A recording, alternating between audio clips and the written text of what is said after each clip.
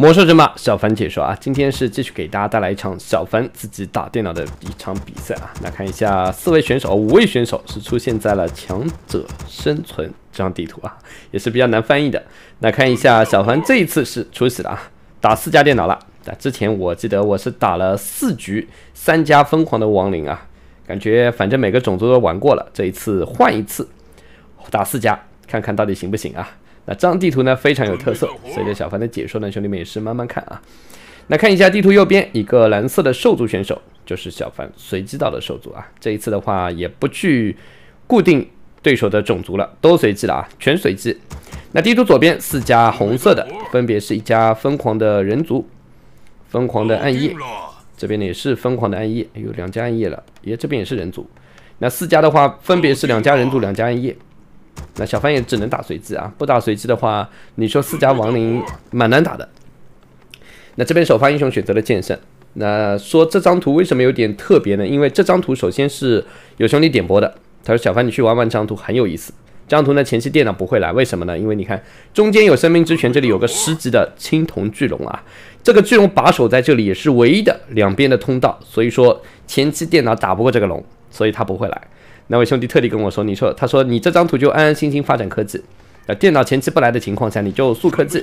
然后这张图呢，还有两个最大的特点，就是上方和下方分别有两个青青铜龙七地啊，这里可以买十只青铜巨龙。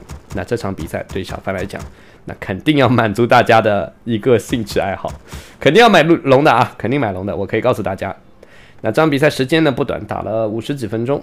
小凡的中间会有一点稍微加速一下啊，因为前期的话可能就练级，打到最后期呢可能也就是拆拆建筑或者我被拆建筑。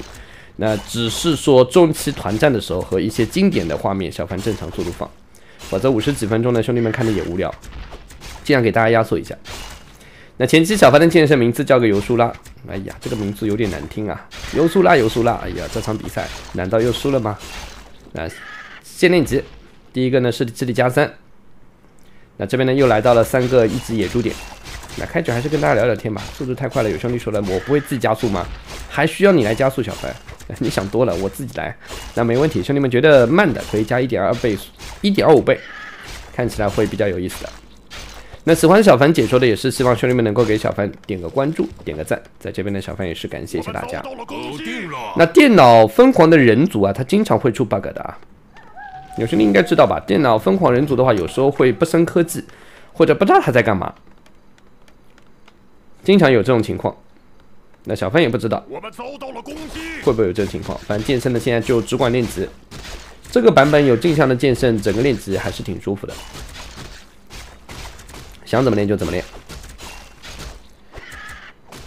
搞定了。那小凡的话，其实是尝试过一打十一家电脑啊，兄弟们。有兄弟说了，你为什么不打十一家？我尝试过，打不过。我也实话实说，打不过就是打不过。太难了，十一家电脑根本就不给我任何发育的空间，上来就打我，我门都还没出，电脑就来了。其实我认为打电脑最简单的还是用暗夜。恩爷的 KOG 加上白虎这两个英雄，一旦到六级的话，你配合上自己的奇麦拉蒋银兽之类的，确实很强。但买好那个魔敏药水，技能一放，那至少说是能够打个对手两百到三百人口。那开局呢，小凡就是练级了，家里的二本升完之后翻英雄小歪，三本呢也在升。这里的话，小凡稍微把速度提一提啊，因为就是练级了。因为我自己打的我知道，电脑呢目前也在练。电脑的能力也练了，这个怪呢还是挺强的，有六级怪，包括这两边你看有个八级的门马人啊，这个半人马的话能复活，还有两个四个大红点，四个大红点的话是在哪？我看一下，在上面一点。我要这样看，这里，这里有一个，这里有一个，然后那个是不是大红点吗？难道是？找一下啊，这里呢，这里这里这个怪也挺强的。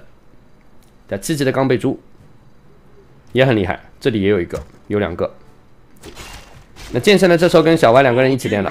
英雄出来之后呢，就练级，练一会儿之后呢，想办法尽量去要买一个青铜巨龙，十级龙一定要买。这张图上不买十级龙，玩的也没啥意思啊。那现在呢，小凡能练的还是要去练一下，虽然呢装备不是特别好。我之前玩过一盘暗夜，当时我的白虎是打了攻击转加十五的这张图上，能刷得到。所以这张图我感觉还是可以以后想办法再多打打，很有意思啊，兄弟们。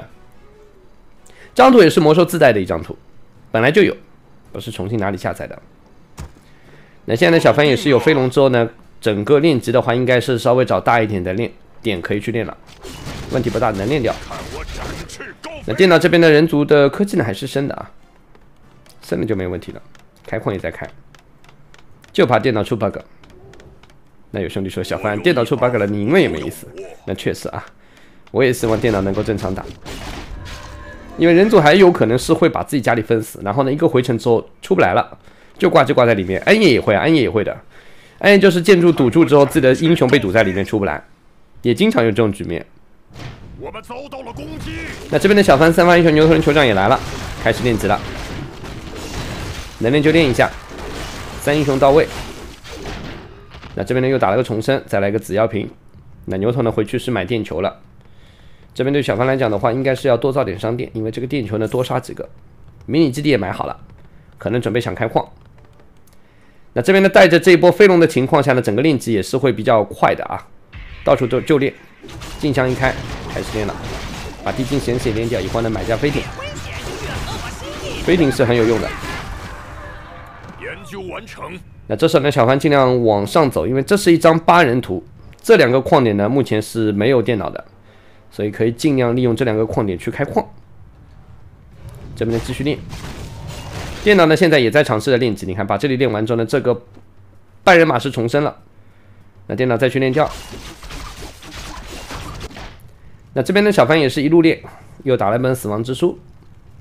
那现在想办法去练个远一点的矿点去开矿，两片矿尽量不要离得太近。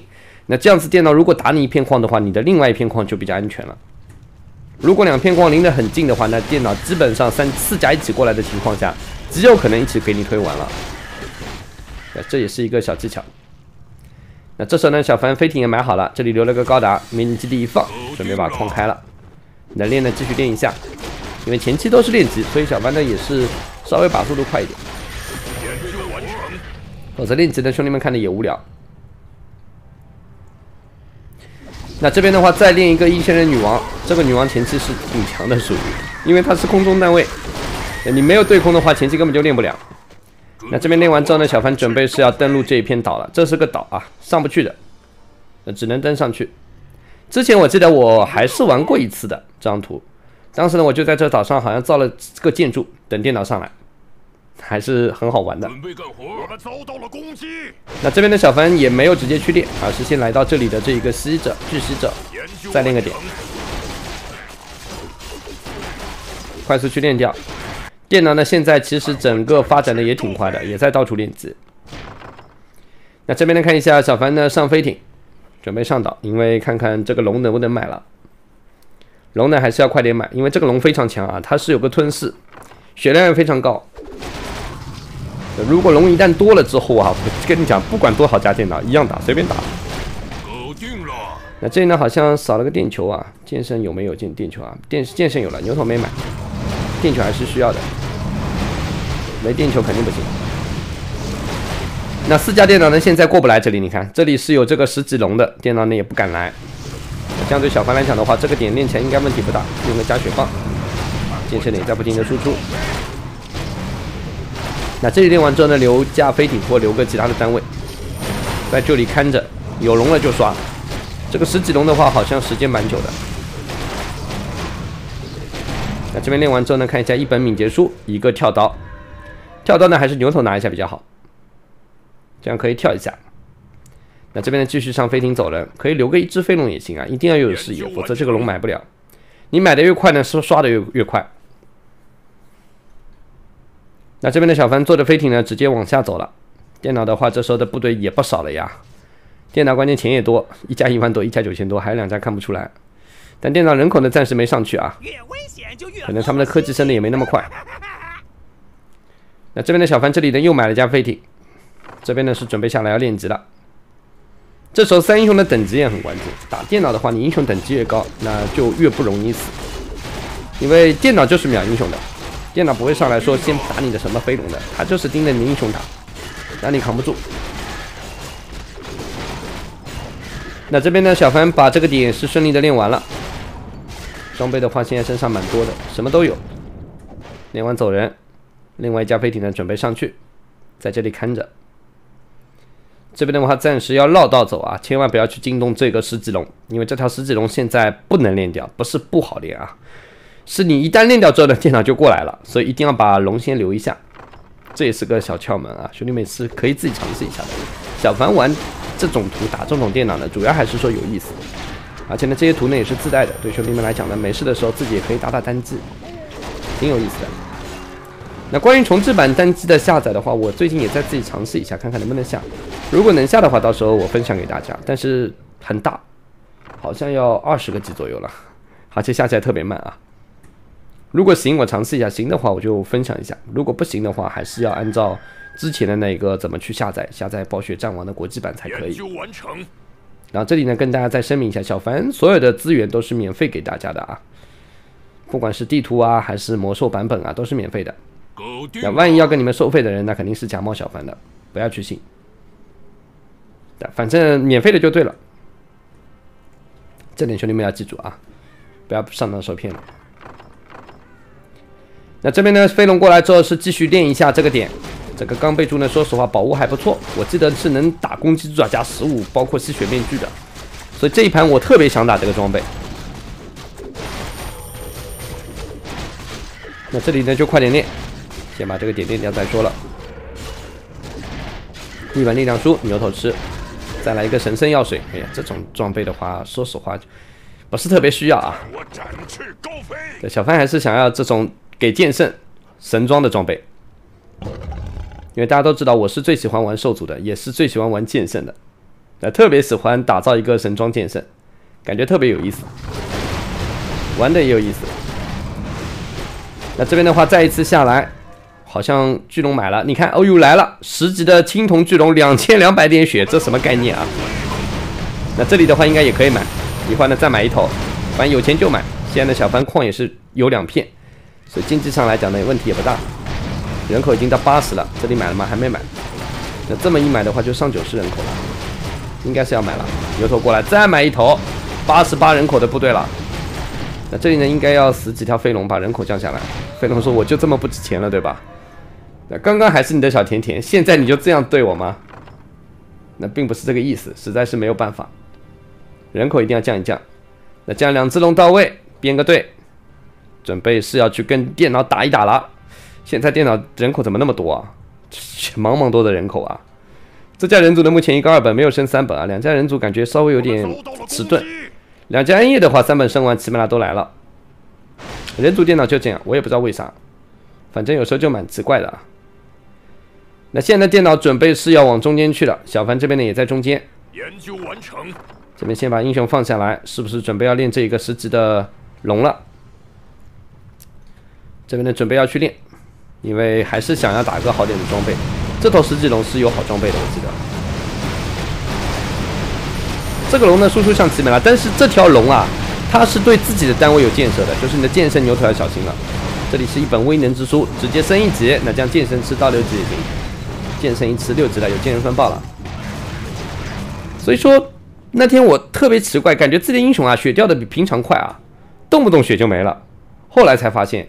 它是有箭射伤害的，就跟以前的奇美拉是一样的。现在奇美拉是修改了，但这种单位呢一直没有改啊。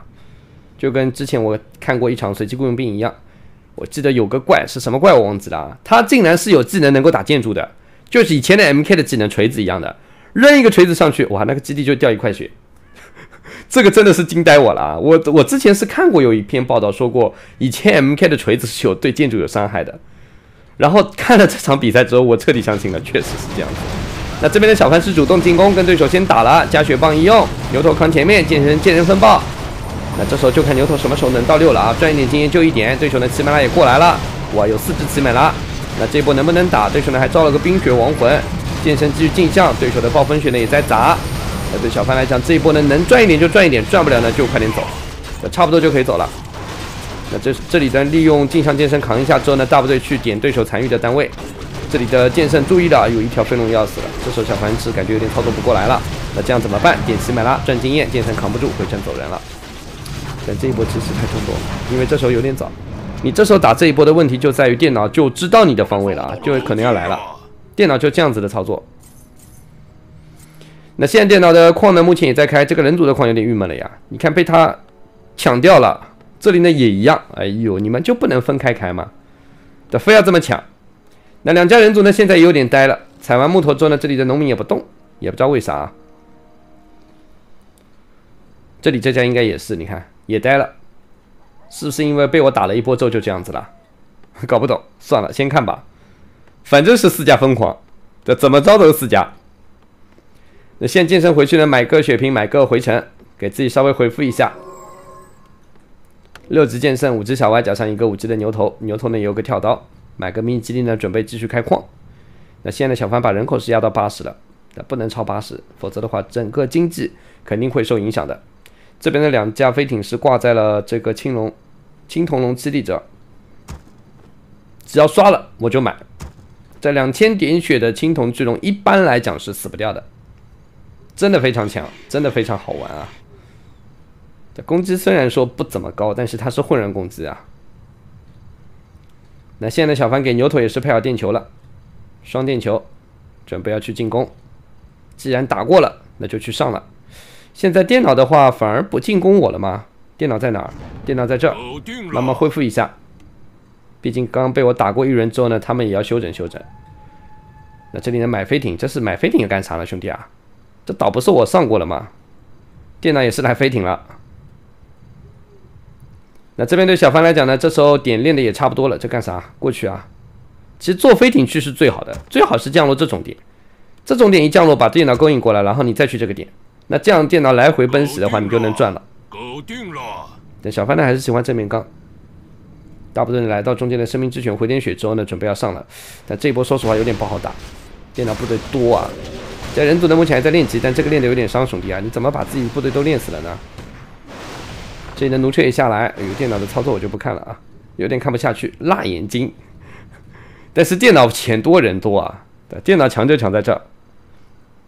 好，但这一盘呢，好像两家人族是出问题了。他们人口就压着五十，部队也不多，整个呢就在挂机了。是不是这张图上的木材采完之后，这人族的农民就不会拉扯了？在这里也有啊，为什么他不动？没看出来。那这波呢，小凡继续上，能进攻就进攻，进攻不了那就等对手来了。先秒对手一个英雄啊，这种时候能秒就秒。你看我这个镜像剑圣也有伤害啊，也被打了一顿，牛头有点扛不住了，顶个血瓶。那这边的先秒对手的集美拉，小心山岭巨人。其实打 N 野最讨厌的就是山岭巨人的嘲讽啊！你一个不注意被他一嘲讽，你的攻击全打在山岭身上了。那这边的小歪也是已经到六级，但小凡呢有点扛不住了，还是要回城。这一波呢被动死的有点多，那快点走。这边的话金青铜巨龙呢还没有刷，现在呢小凡是多开了几片矿，这片矿呢也好了，但是人口已经到九十七了，怎么这么高啊？补了什么单位啊？把农民 A 了，农民不要了，A 掉一点降人口了，九四五。那补了几只自爆蝙蝠，准备是炸一轮对手啊。那这时候电脑要来了，电脑觉得不对劲啊，这意味着被你欺负，这怎么行呢？这四家电脑陆陆续续都要过来，那这时候对小凡来说有点压力，但我也不知道啊。小凡看录像的时候呢，是有一个迷雾打开的，打的时候呢，兄弟们就这个视角。小凡打的时候就这个视角，我不知道的。那这边呢，看一下，现在又碰到了对手一个女猎手送经验的，不要白不要。你看这里剑圣是掉血的啊，好在牛头到六级了，有大招就好多了。那剑圣的剑看到对手大部队来了，先来个镜像，快点能秒就秒。牛头冲击波秒英雄，对秒英雄的时候，这时候一定要秒英雄。但是说实话扛不住啊，这边这个剑圣伤害太高了吧？牛头注意走位，再来个冲击波。这边的剑圣升到七级。对手的部队好在陆陆续续再过来，他就要去我家拆家了。见到现在的程序设定呢，就是拆家流。那这边怎么这么多重生啊？为什么对手老是在重生？这时候呢，我尝试的去吞这个山岭巨人，吞不下，我也不知道为什么。他是升了魔抗的，不能吞啊，就跟科多不能吞一个概念。那这边呢，只能慢慢点，先杀你一个山顶巨人也好，不杀白不杀。那电脑这时候呢，觉得打不过，一部分撤了，一部分去了。电脑这时候不齐心了呀，不齐心那我最喜欢了啊！我就怕四家电脑一起来。那这种两家一家来的话，现在小盘压力不大。这边呢继续杀一个布德曼，你看这扛不住啊，这扛不住，这剑圣血量掉的好快啊，没有吸血不行。这种局最好打个吸血面具，那这样就完美了。那这时候电脑呢已经在我的主基地开始拆我的家了，好尴尬。电脑怎么会还会拆家啊？这不是过来应该傻愣愣看着被我打吗？这电脑好聪明啊！那我秒英雄是主旋律啊，还是要把英雄秒掉，让对手没有英雄。现在呢自爆蝙蝠再补一点，准备去炸这一波奇美拉。但我的剑圣有点扛不住，小文呢再加一口血，这边的先秒奇美拉了，否则我的基地要没有了。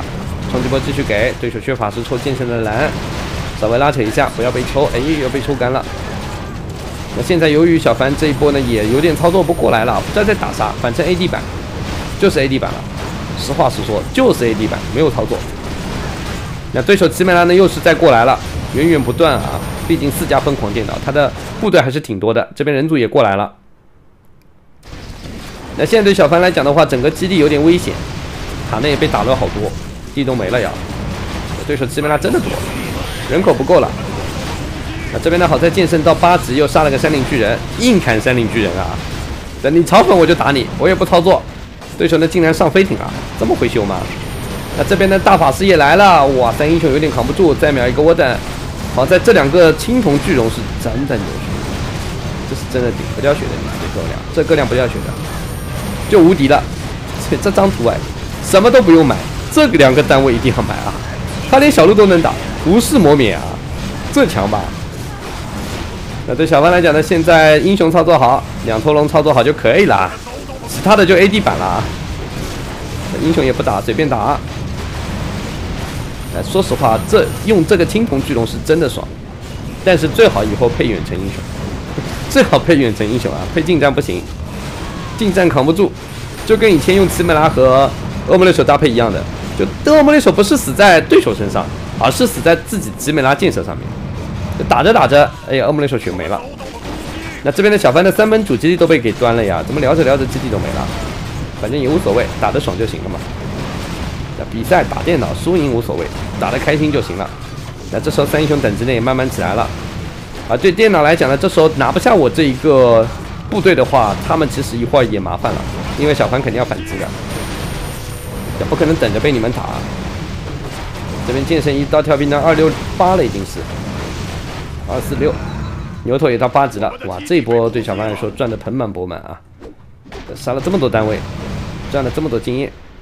那现在呢，看看有没有钱？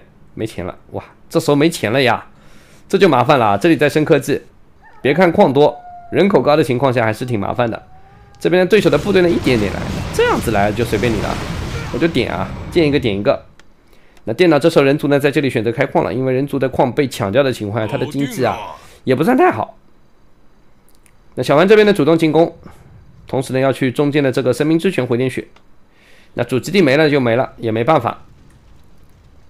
那现在问题是人口红了，买不了龙了，龙快刷了，快刷了。那这波呢？过去先把对手的这个分矿拆掉，一个冲击波。那电脑的话，目前的奇美拉呢还在往我家里赶啊。这电脑现在就是说去我家里，什么都不管，就拆家。那他们设定的就拆我家，你看沃登也来了，那只能让他拆，能怎么办？我现在就集中消灭对手的主力部队就是了，比如这一个血法师，盯着打。然后在电脑部队没有全部过来，打电脑一定要把他们分化开。一定不能让他们一起来打，一起来打的话，你怎么玩？玩不了。啊，人口太多了，对电脑。那这波呢？趁着对手部队还没成型，快点把对手奇美拉秒掉。我真的是有这两条龙啊，这两条巨龙真的顶了多少伤害啊！那其他人就随便 A 了，就靠两条龙。这边再秒对手的沃登，这沃登完全走不动啊，被打出了净化。那三个镜像剑圣呢也在砍，已经九级剑圣了。那这时候呢，就盯着对手的熊啊、山岭巨人打就行了。好在有生命之泉，那我的英雄的血量呢也一直在回，否则的话早就被打死了。好在现在龙也不算多，龙多的话也不行。但现在小凡的主基地呢，被对手也是一直在点啊。这边的奇门拉也过来打了，哎，这奇门拉不打了吗？奇门拉傻掉了。但是对手的人口呢还是挺多的，源源不断在过来。这边的剑圣一刀秒了这一个标记。再买了，再来秒白虎，这时候谁过来了？恶魔猎手自己来了，一个恶魔猎手有啥，用牛头都九级的冲击波又杀了恶魔猎手。那这一波对小凡来讲，现在只有一个字：爽啊，兄弟们！打电脑不一定要输赢，就是要这么玩才开心。这一盘美中不足的就是我的剑圣的装备不怎么好啊。如果这时候有个两个攻击之爪加十五，再来个吸血面具的话，那真的是好玩了。我飞龙都不要了，就两头龙再三个英雄上啊。那现在的小范应该要攒点钱，攒点人口是吧？再买一轮巨龙啊。我这七头巨龙应该快刷了。这边剑圣十级了。那这比赛的话，对于小范来讲应该问题不大了，因为电脑这时候的部队越来越少了，虽然还有，但不多了。它整合不到一起的情况下呢，就是。被我慢慢一个一个逐个击破了，这就是电脑的问题。那这边电脑的飞艇还在买。这张图上呢，我感觉电脑容易出 bug 啊，也不知道为什么，经常感觉有这种问题。那这边呢，看一下对小凡来讲呢，继续进攻。剑圣镜像一开，哇，这个龙打的，你看周边的镜像剑圣全在掉血啊。自爆蝙蝠呢？这时候其实就是想炸一下人族的十九龙鹰的，但这一盘人族十九龙鹰至今没见啊，也不知道为啥，没有我就进攻了，我也不客气了，要打就打了呀。那这边呢开始拆家了，拆对手分矿，也意味着小凡的反攻开始了。你能打我，我也能打你。那人族这边的部队呢也再来，但人族这一波就火枪加副嘛，根本就不用慌。牛头一个冲击波，秒的就是你的英雄。这大法师不秒吗？这边的这时候小凡的龙买了吗？好像又有一头了。哎呦，第三头龙来了，你看，龙来了，龙来了啊！这时候的话，龙一来，那这样子整个输出就高了。这边剑圣说扛不住了呀，这龙太多了，龙打我太疼了。剑圣小心死在自己的龙手里啊！这时候最好的操作呢，就是让剑圣自己编个队拉拉开，随便打谁都不要跟这龙在一起。剑圣真扛不住，你看一轮齐射，剑圣血量没了，小弯也到十级了，牛头也马上到十。这边呢暗夜的大部队也过来了，但是小帆来枪现在无所谓，我见面就是打。那牛头离十几呢也不远，金光一闪，三英雄全到十。那这一波的话，电脑还来不来啊？不来我就进攻了。后面人族呢还在过来，但这样人族真的没什么部队啊，就五十人口，一波火枪加上福德曼。这张图电脑感觉真的会经常出问题，哇，四头青铜巨龙了呀，这数量是真的多。那蝙蝠呢？现在是又可以炸对手的空中单位，又可以去进攻对手的建筑，所以蝙蝠的整个作用还是挺大的。我这边真的打下来，感觉剑圣跟牛头伤害最高，受伤受到的伤害最高啊。剑圣呢目前打了三万伤害，牛头打了两万了。比赛呢打了三十二分钟。那这边的小凡准备是去推一家了，这肯定是要去推，速度推掉，推哪家都行，反正盯着一家推就是了。自爆蝙蝠呢去点一下这个知识补助，这边呢有个山岭巨人，那就给你秒了。但是你两个英雄吃到小凡知道了，拉拉开拉拉开啊，这受不了啊！这打上去自己的英雄血全没了，这谁受得了呢？这龙太猛了呀！那这时候呢，小凡是决定进攻这家暗夜，把这暗夜先灭了。电脑回城吗？没有回城了。电脑部队不多了，其实已经。等一家也只有三十人口了，被打完了。而且现在有这四只巨龙在的话，真的是无敌有点。想让蝙蝠来拆也行。这边的这家人族是大法师过来了，一个大法师有啥用啊？那不是送经验吗？然后后面又有单位来了，我看到了，这家也还是要来。电脑的救还是会来救的，但并不是说我放几个救。这个大法师呢，把里面的井水一个人要喝完了，你看他要喝干了，他一个人狂喝，我等哭了呀。这边的 QG 也过来，剑圣一刀直接带你走，十级剑圣，虽然说攻击不是特别高，但是砍起来还是特别带劲啊。那这样子这家暗夜呢，应该是要被灭掉了。这大法师还想走啊，兄弟，往哪走？要不是顾及我的剑圣，早把你打掉了。剑圣太疼了呀。那这边小歪呢，有血就加一口。这一波的话，这家也应该是要没了。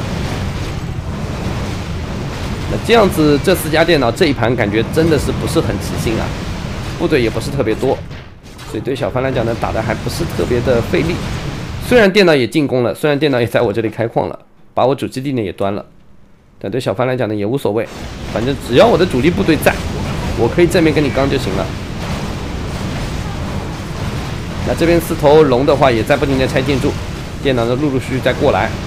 小凡呢把速度稍微加快一下了，因为现在这里就是拆家，就是拆啊，一路拆就对了。剑圣呢这时候聪明啊，打小精灵，我不要跟你的龙打一起，我不想受到伤害。那这家拆完之后呢，这里又来了两只奇美拉，你看这个龙还能对空，奇美拉是不能对空的，所以它比奇美拉强多了，这不是强一点点啊？那电脑呢还在赶过来，这时候小凡呢是准备要去把这家人族给灭了。这家人族呢目前他的整个经济也不好，主要还是一个原因，可能他的这一个矿被队友抢了，这样他就发展不起来了。英雄呢还在复活。对小凡来讲呢，就是拆了，一路拆下去，就这么简单。这里来了个大法师，也给你秒掉，还想跑，想多了。那这样子的话，这家人族也是能够轻松灭掉。有兄弟说，小凡怎么那么简单啊？就这么赢了吗？其实打电脑就是找电脑的 bug，就这样子的。你打十加十一加也是这样子，等到电脑不动的时候，也就意味着你要赢了。否则你想十几家电脑你怎么玩？四家也一样，你一打四。如果四百人口压过来，你操作再好，你也不可能打得过。小凡一直这么认为的，就是要把电脑打到这种比较出问题了，那你就能赢了。那这边的恩义是还想过来救，对小凡来讲呢，这边你要刚我就陪你刚啊，根本没有压力。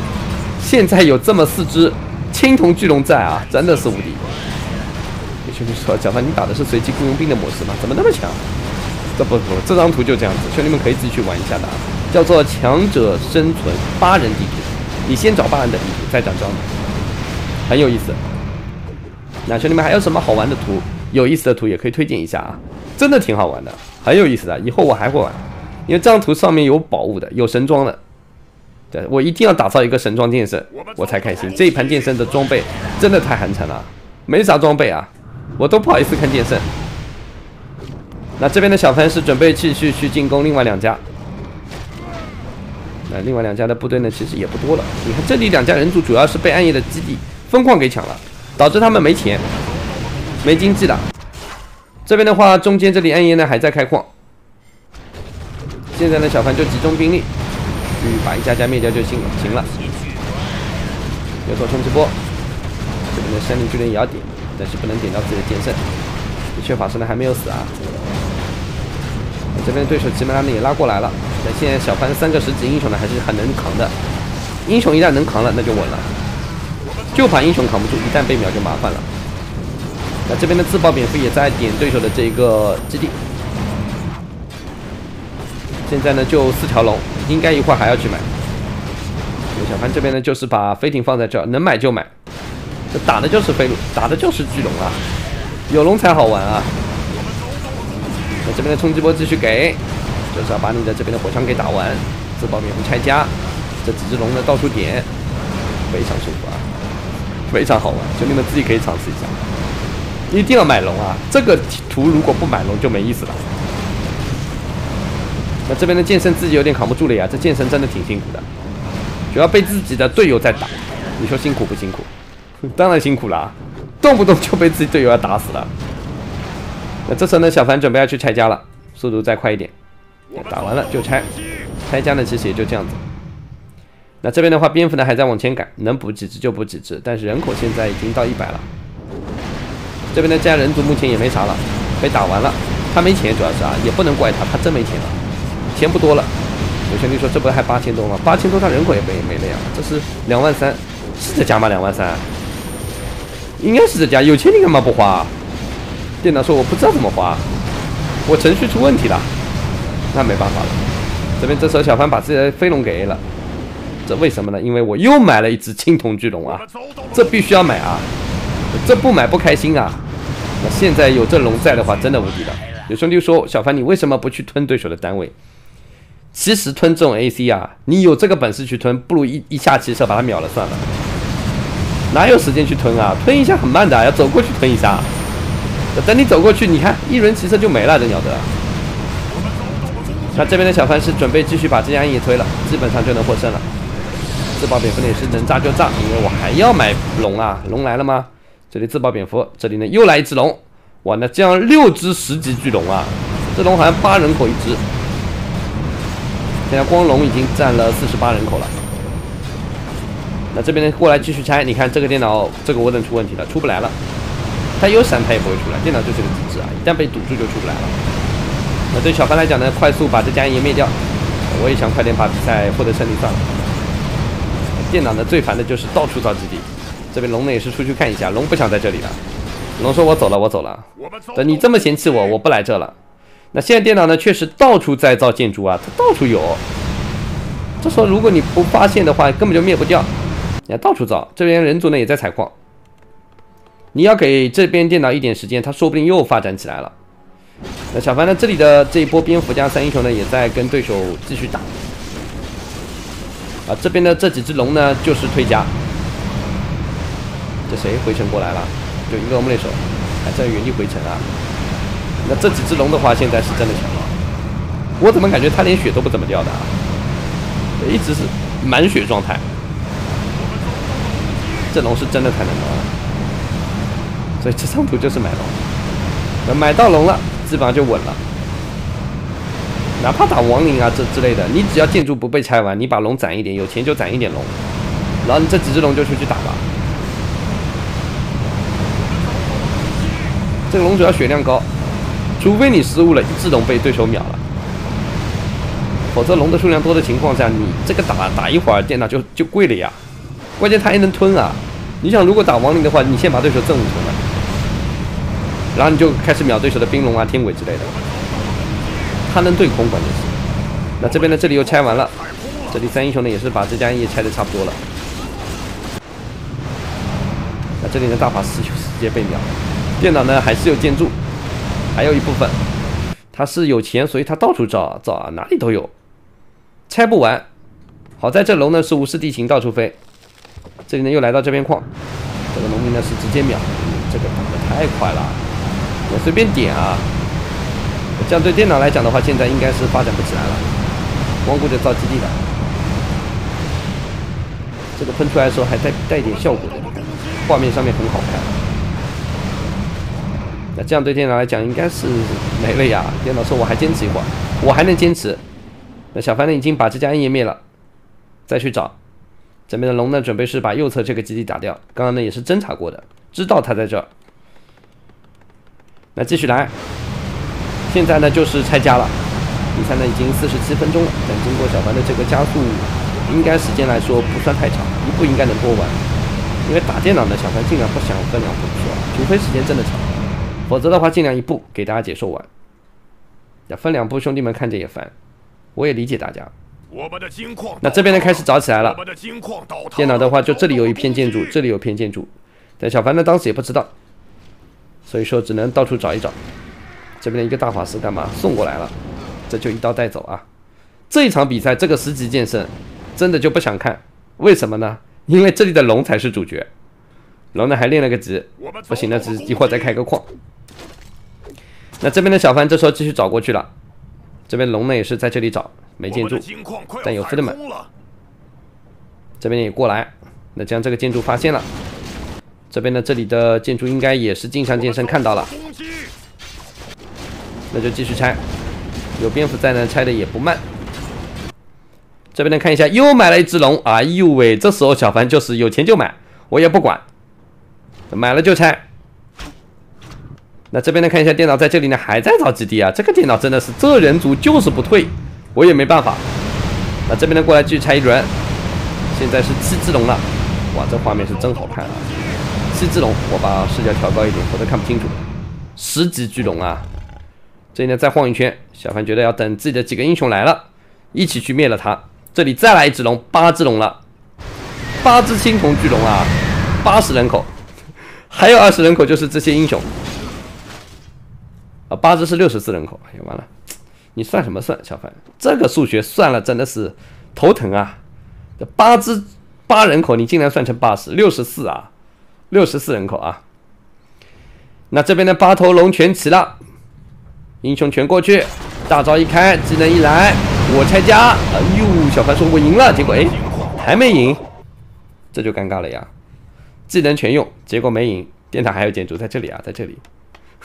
那这时候的话，对小凡来说呢，还是要找，因为不找电脑就不退，不退我就觉得自己还没赢，我打电脑就是这样子的一个强迫症，必须拆完。那这边呢，再逛一圈，应该要分散找啊。这里呢还好有支蝙蝠呢找过来了。那将看到了，看到了，看到了，全部过去。这边的镜像剑圣也过去看了。那这波对电脑来讲就剩这一家了。这家就是两万九经济的这一家人族，他没怎么出兵，一个冲击波全灭了。哇，这波的话直接赢了。那这样也是感谢兄弟们收看啊！小凡三个十级英雄杀了对手四十二次英雄。战胜了四家疯狂的电脑，但这一盘的话，两家人族是出问题了啊，也不能说四家啊，最多也算只能算三三家吧。那也是感谢兄弟们收看，再见。